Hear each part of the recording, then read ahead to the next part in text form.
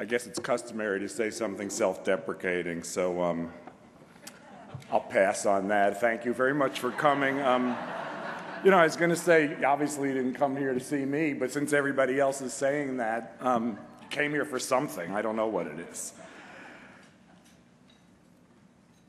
I guess I have the good fortune not to have heard of the Northwest Kidney Centers until recently. Um, and that's something to be thankful for, too. But um, it's really privilege and a pleasure to be here, um, to be able to appear for such a good cause and to be able to talk to you about a subject I care greatly about, which is nutrition, health, labor, environment, animals, climate change, cooking, a couple other things, all in 15 or 20 minutes. Um, those are the big issues of our time.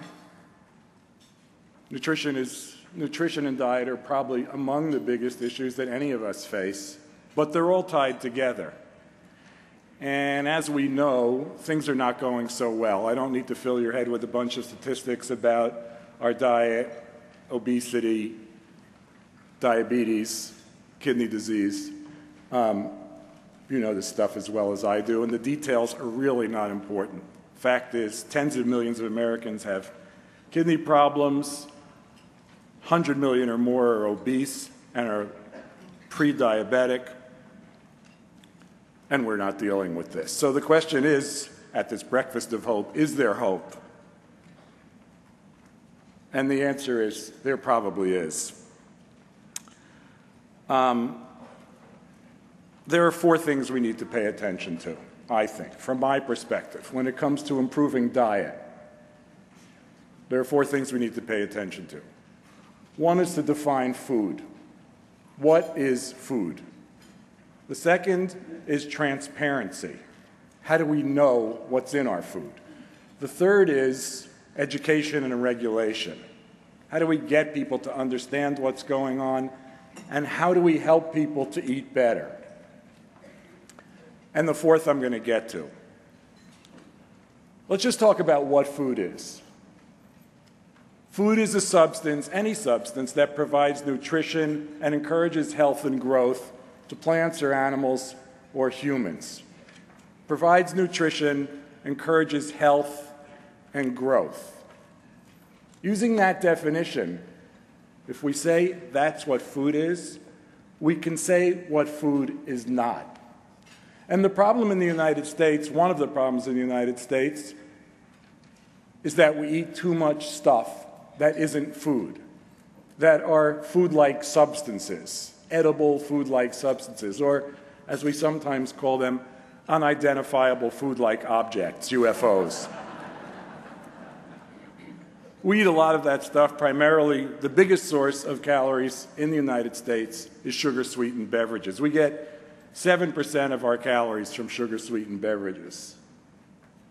The beverage industry would like you to think that we get only 7% of our calories from sugar sweetened beverages, but that's like saying only 7% of deaths in the United States are from Alzheimer's disease.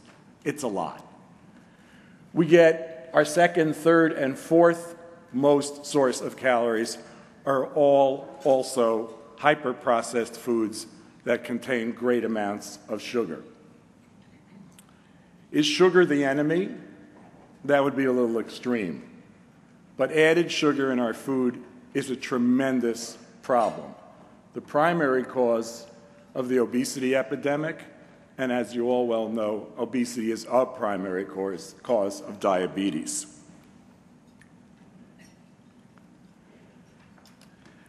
When we talk about regulation and education, we have to talk about sugar and marketing junk food to children.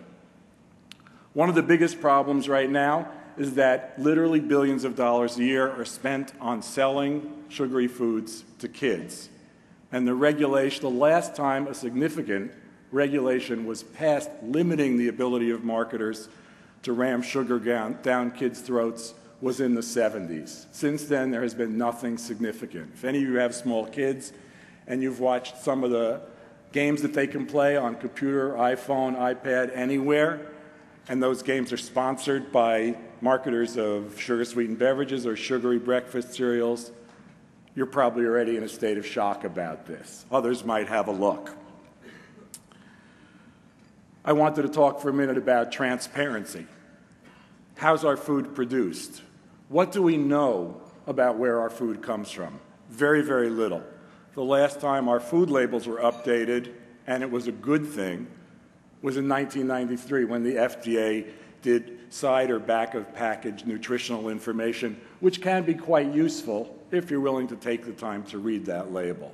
But what we need now is to understand what's in our food, where it comes from, how it's produced. And we don't have much of that at all, if any. That's all about transparency. So we define food, we show people how it's made, we regulate how it's made, and we essentially try to discourage the consumption of food that's bad for us and encourage consumption, consumption of food that's good for us. This brings us to issue number four, which is something we can all share, something we can talk about with our family and friends, something we can integrate into our own lives, and that's our personal food policy. What's a personal food policy? Well, it amounts to what's our diet. Six years ago, I was 35 pounds overweight, well, maybe 40. I had um, high cholesterol, high blood sugar, sleep apnea, bad knees, and all of that stuff seemed to sneak up on me. Although, as anyone in their, not anyone, sorry, as many people in their 50s know, if you gain a pound a year from the time you're 25 on, you just gain 30 pounds. Welcome to your 50s. So I went to a doctor friend of mine after going to my conventional doctor who said, Well, we have Lipitor, we have surgery, we have many things that can help you. I went to a less conventional doctor and showed him my blood work and said, What should I do? And he said, eh, I should become a vegan. And he said, I think he said, You probably should become a vegan. And I said, You know, I write about food for a living. I'm a lifelong omnivore. This is not going to be easy for me. And he said, Well, you're a smart guy. Figure something out. So I wrote a bit and I thought a bit and I talked to people and read a lot. And, um, and I recognized the writing on the wall. And the writing on the wall is this In the next generation, we're going to all be moving towards a more plant based diet. Many of you have already done this, but everybody is going to do this. And whether we do it as a result of the economy, as a result of a health crisis as a result of the collapse of agriculture, industrial agriculture as we know it. None of these things is impossible. We are going to do that. So the question is what do we need to do? Really, what do we need to do? And the science is, in fact, very, very simple. This is what the science says. The science says if you move away from the standard American diet, which whose acronym is SAD or SAD, and it is, if you move away from the standard American diet by substituting plants for almost anything else, unprocessed plants for hyperprocessed foods, for added sugar, for junk foods, for animal products, if you substitute plants for those things, you will be healthier. That's what the science tells us. You may or may not live longer.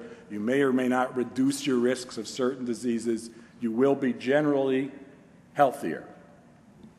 So that's the science. What I needed to do, and I was aware of this six years ago, what I needed to do was to figure out a strategy. I understand the science. These are things that are pretty much indisputable. What's my strategy for doing that? And what's a strategy that could be a lifelong strategy and could work? So I decided, in my sort of crazed wisdom, that I would become a semi vegan. And there's no, there are vegans who will argue that being a little bit vegan is like being a little bit pregnant, but there's no better word. There's no better word than vegan for a diet composed of plants. So I decided to be a semi vegan. I devised this. Um, I devised this diet, and when I say diet here, I don't mean one of the 68,000 or whatever is that the number, Joyce? This one, um, one of those 68,000 diet books. I mean a lifelong way of eating. What's a way that I can eat for the rest of my life that makes some sense to me, that I'm going to be able to stick with, and that might do me some good? So I devised this diet that a friend of mine jokingly then called VB6. The diet is I'm going to be a vegan until 6 o'clock, then I'm going to do whatever the hell I want. you know, Jesse, Jesse's right. If you even mildly swear before a crowd like this, you get a laugh, right? Wait.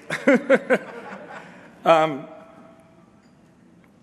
so the diet is this and, this, and it's a strategy, and I'll get to that word strategy in a second. The diet is this I eat unprocessed fruits and vegetables, legumes, whole grains, blah, blah, blah, from the time I wake up, which is usually pretty early, until dinner time.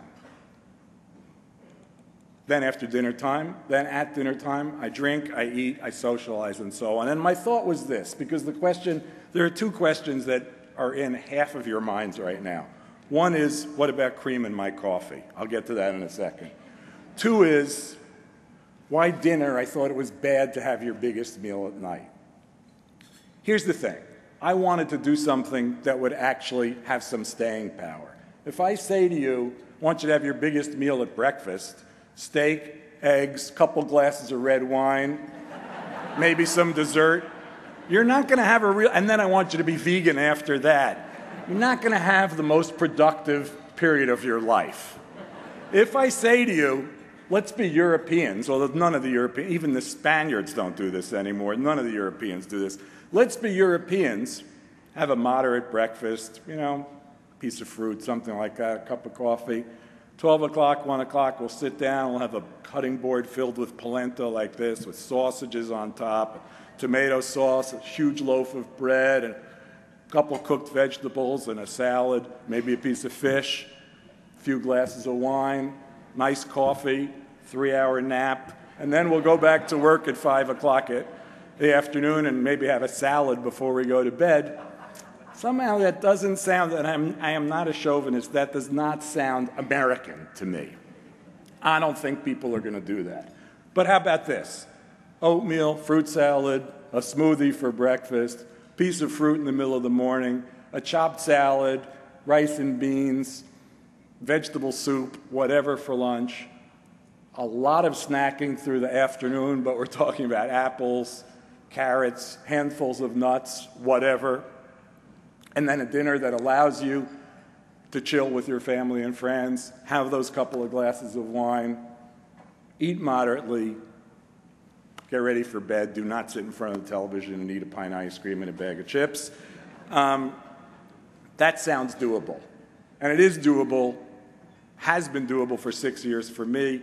A number of my friends have done this also. That's why I decided to write this book, by the way, is not because I needed to write another book, but because this seems to work. Because the strategy for applying the science, the science is eat more plants.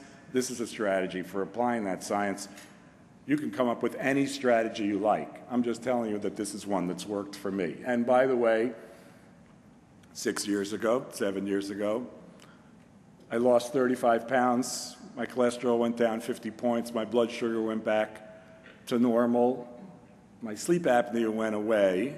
My wife said, Hey, you stopped doing that weird snoring thing you were doing at night.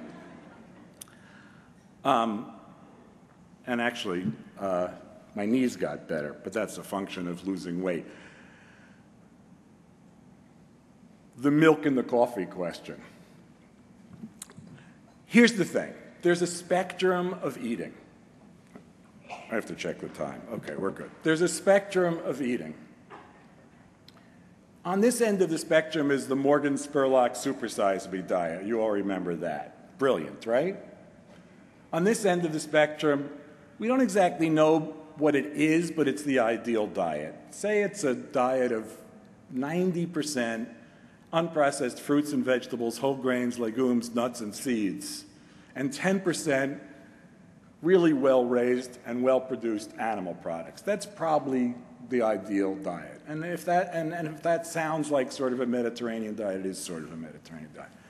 Guess what? None of us is at the ends of the spectrum. There's no one in this room, I guarantee you, doing the Morgan Spurlock diet, and I doubt there's anyone in this room eating the perfect diet either. We're all in here. Just like we're all in this room, we're all in this spectrum. Now, where are you on the spectrum? Because this is about your personal food policy. If you're just shy of old Morgan, The good news is that it's really easy for you to move to the my left, this way. If you're over here, the good news is probably don't have to do much of anything. If you're in here, it's probably where most of us are, the good news is improving your diet by 10%, 20%, 30% is doable, measurable by you without counting calories because you know when you're eating better and when you're not eating better, and sustainable. So, again, if you say, all right, I kind of like this VB6 idea, or, you know, I met a woman yesterday who said, well, me and my husband are vegan until the weekend because it's exactly the same reasoning. During the week, we're disciplined, we're working hard, we can do this, we get home, we have dinner together, we make it a vegan dinner, that's, that's what we do. And then on the weekend, we hang out with our friends, we're more loosey goosey, we're less disciplined, we do whatever we want. I don't care what the strategy is. Most of us need rules, and that's why we need a strategy. So if you say, okay, I kind of like this idea, I'm going to be vegan Monday, Wednesday, Friday, I'm going to be vegan till 6, I'm going to be vegan weekdays, I'm going to be vegan weekends. You pick a strategy, you pick something that likes, and you stick to it. And you don't stick to it dogmatically. You don't stick to it to the point where you beat yourself up if you, let's say, fall off the wagon. It's not quite the same thing. You stick to it as best you can. Because as I said, if you improve your diet 10%, 30%, 70%, 90% over the course of the next one year, five years, 10 years, whatever, you've totally won.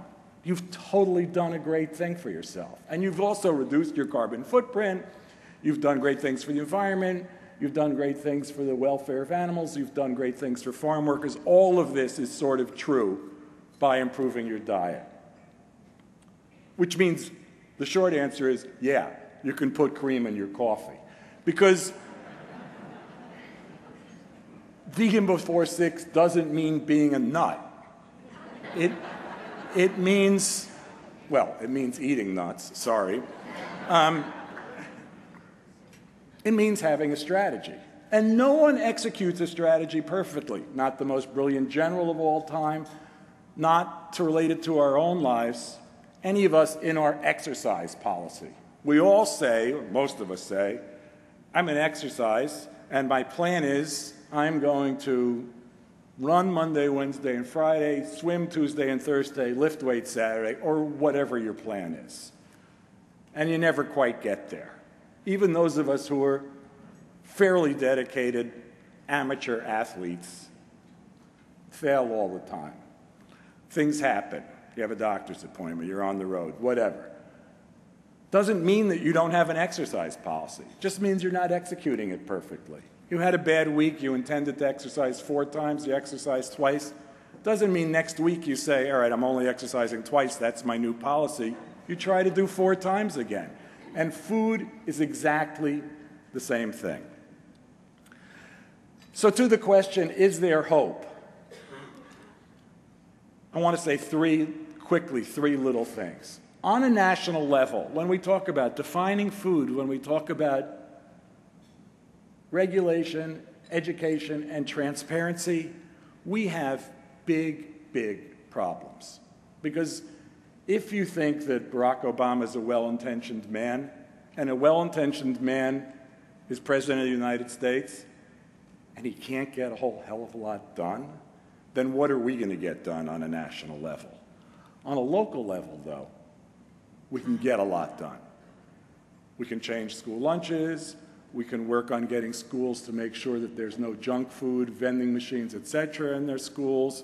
We can limit the impact junk food companies have on school uh, athletic funding. We can do all kinds of things. We can think about uh, soda taxes or big, ban- big gulp bans, as we did in New York, as we thought about in New York. Um, we can do plenty on a local level. But on a personal level, there's a huge amount of hope because you can do everything that I've talked about starting today. You can do everything that I've talked about, and you don't have to do it perfectly. You just have to do it with good intent and consistently. So, um, I probably have never sounded more like a preacher in my life, but I'm going to say there is hope for all of us. So thank you very much.